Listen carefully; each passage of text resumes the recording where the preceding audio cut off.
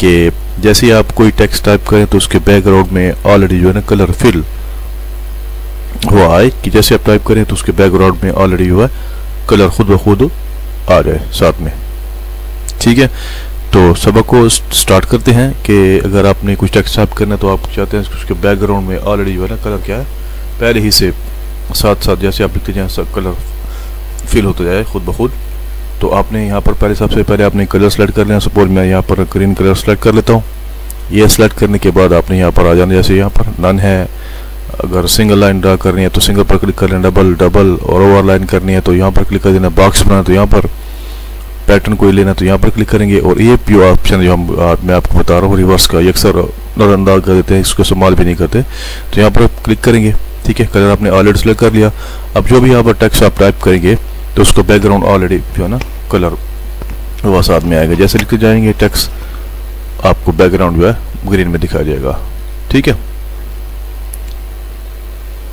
यहाँ से कलर दोबारा देख लेते ग्रीन कलर, ठीक है?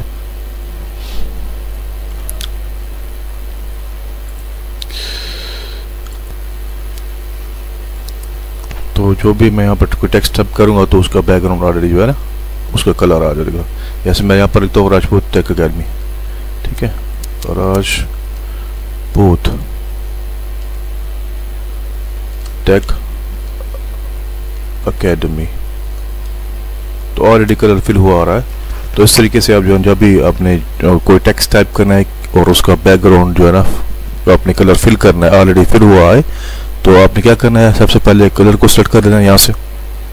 यहाँ पर अगर आपने जो भी रंग आपने करना है बैकग्राउंड को देना है टेक्स्ट के।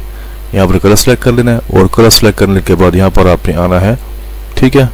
और पैटर्न में जैसे आ, सिंगल लाइन करते हैं ठीक है? ख़त कशीदा डबल लाइन करते हैं पैटर्न बनाते हैं या बॉक्स बनाते हैं ठीक है? उसके बिल्कुल एंड में ऑप्शन है रिवर्स रिवर्स पर आपने सेलेक्ट कर लेना है और उसके बाद आप जो भी टेक्स्ट टाइप करेंगे बैकग्राउंड खुद ब खुद जो है उसमें कलर आता हो जाएगा।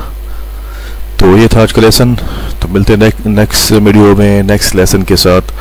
तब तक अल्लाह हाफिज़. चैनल को लाइक सब्सक्राइब और बेल आइकन को प्रेस करना ना भूलें ताकि हर नई आने वाली वीडियो का नोटिफिकेशन आपको मिल सके. Thank you thank you very much